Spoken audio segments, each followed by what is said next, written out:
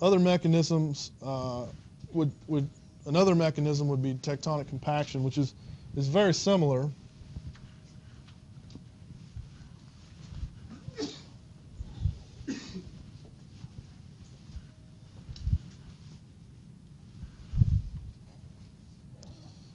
Tectonic compaction is very similar. So you can imagine that you have an isolated region due to faulting. So,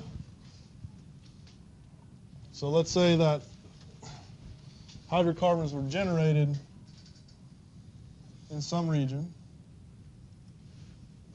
over millions of years, okay?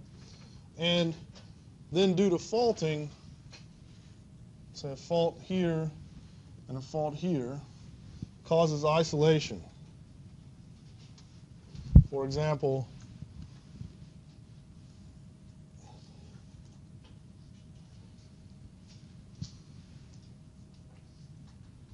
causes a shift in the formation such that now you have an isolated formation due to faulting.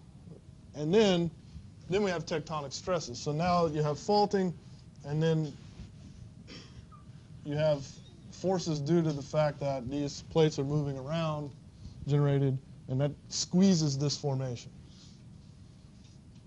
And you know, here I drew it from the side, but but it could also be, you know, pressure uh, from above in some shear manner or something like that. But basically, the idea is that you have some isolated formation due to some tectonic occurrences, faulting or whatever, and then you have motion of tectonic plates, which causes this to squeeze.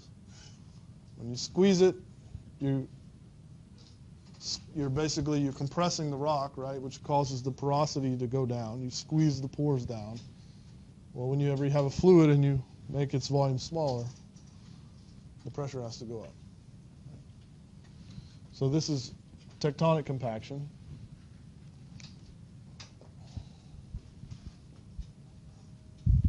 So again, this occurs in areas where large tectonic stress changes occur over geologically short periods of time.